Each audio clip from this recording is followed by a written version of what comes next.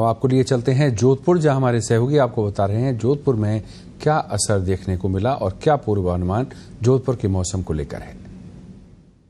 सागर में उठे भयंकर चक्रवाती तूफ़ान बिपरजोय का असर राजस्थान में गुरुवार दोपहर से दिखना शुरू हो गया। जालोर का वह हिस्सा जो बाड़मेर क्षेत्र से लगता है, वहाँ दोपहर बाद ही तेज हवाओं के साथ बरसात शुरू हो गई।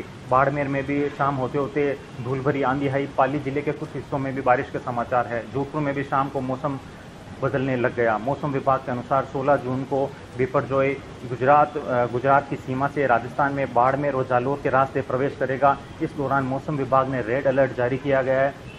यानी बाड़मेर और जालोर के कुछ एक पॉकेट्स में 200 मिलीमीटर से अधिक बरसात हो सकती है। अगले जून अग, अगले दिन 17 जून को ये जोधपुर में प्रवेश करेगा। जोधपुर पाली सिरोही और नागौर जिलों के लिए 17 जून को रेड अलर्ट है। मौसम विभाग के अनुसार 18 जून तक बिपरजॉय का असर बना रहेगा। गजेंद्र सिंह पत्रिका राजस्थान जोधपुर।